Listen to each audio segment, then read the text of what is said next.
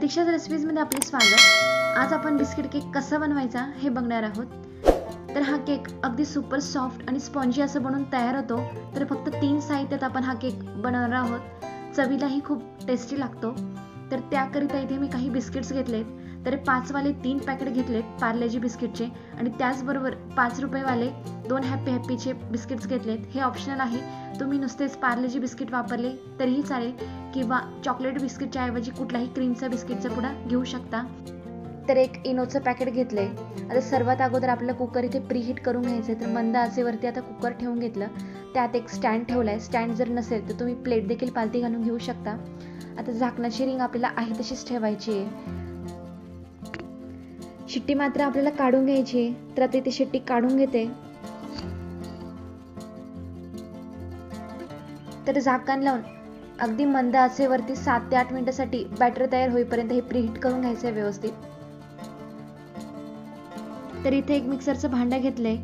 त्यात हे सर्व बिस्किट्स आपल्याला अगदी बारीक वाटून घ्यायचे तर बिस्किट्स काढून सर्वात अगोदर या प्रकारे हाताने क्रश करून घेणार आहे. तर हे सर्व बिस्किट्स दोन बॅचेसमध्ये मी बारीक करून घेणार आहे. ह्या बिस्किटच्या ऐवजी तुम्ही कुठल्याही चॉकलेट फ्लेवरचा क्रीमचा बिस्किट वापरला तरीही चालेल. तर आता मिक्सरला व्यवस्थित बारीक फिरून घेऊया. तर आता तुम्ही बघू शकता अगदी याची बारीक पूड बनून तयार झाली आहे. तर दोनदा करून असं हे मिश्रण मी वाटून घेतलंय. तर सर्व बिस्किटची पावडर आता एका भांड्यात ट्रान्सफर करून घेतली आहे. तर आता बॅटर बनवण्या अगोदर केकसाठी आपण ज्या भांड्यात केक बनवणार आहोत ते आधी तयार करून घेऊया. तर त्यासाठी अगदी थोडंसं तेल घालून घेतलंय.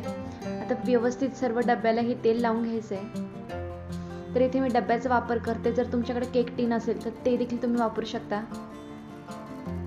आता व्यवस्थित तेल लावल्यानंतर थोडंसं गव्हाचं पीठ घेतले ते देखील व्यवस्थित लावून घेते. बटर पेपर असेल तर तो वापरू शकता किंवा तूप लावलं तरीही चालेल.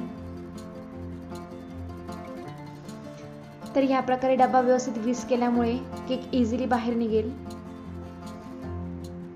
तर आता केकचं बॅटर बनवून घेऊया. त्यासाठी एक चमचाभर तेल घालून घेतलं. याने केक छान मॉइस्ट होतो. जास्त कोरडा राहत नाही. आता थोडं थोडं दूध ॲड करत याचं एक बॅटर बनवून घ्यायचं आहे चमच्याच्या साह्याने व्यवस्थित हे बॅटर फेटत जायचंय. तर ही कन्सिस्टन्सी अजूनही थोडीशी घट्ट वाटते. तर यात थोडंसं दूध ॲड करून व्यवस्थित पुन्हा फेटून घेणार आहे.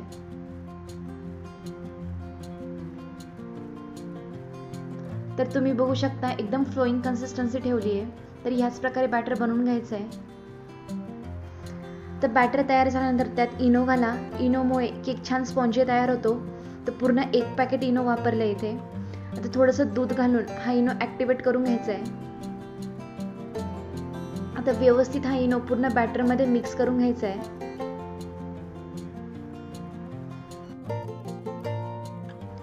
तर बॅटर इथे बनवून तयार आहे. जे भांडं आपण केकसाठी तयार केलं होतं त्यात लगेचच हे बॅटर ओतून घेऊया.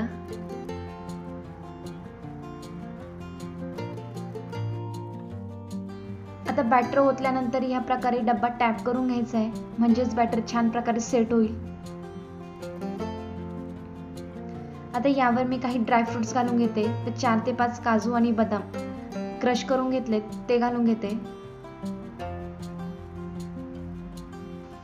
आवडीप्रमाणे तुम्ही कमी जास्त कुठलेही ड्रायफ्रुट्स ॲड करू शकता.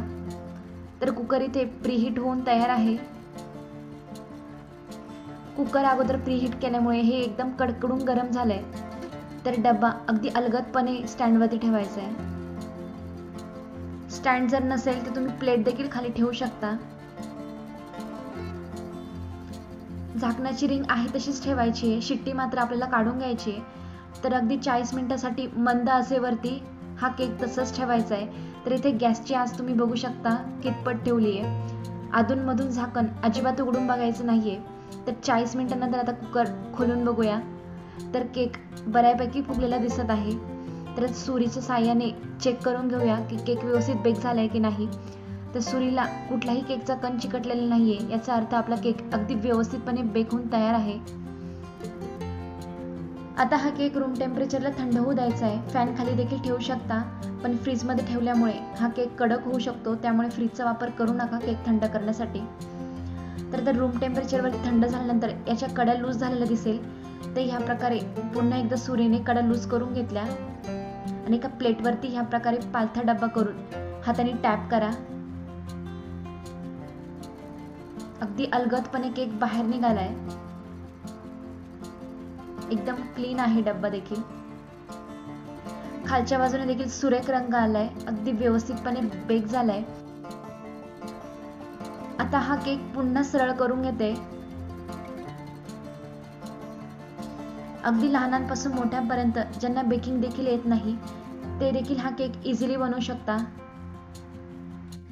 तुम्ही जर चॅनलतील नवीन असाल तर प्रतीक्षा रेसिपीला सबस्क्राईब करा आणि त्याशिवायच्या बेल आयकॉनवरही क्लिक करा. म्हणजेच मी जेव्हा कधी कुठलेही व्हिडिओ अपलोड करेल त्याची नोटिफिकेशन तुम्हाला लगेच कळेल. तुम्ही पण हा केक करून बघा. तुमचा केक कसा झाला? मला कमेंटद्वारे नक्की कळवा. तसेच रेसिपी आवडल्यास व्हिडिओला लाईक शेअर जरूर करा. तर हा व्हिडिओ बघितल्याबद्दल आपले खूप खूप धन्यवाद.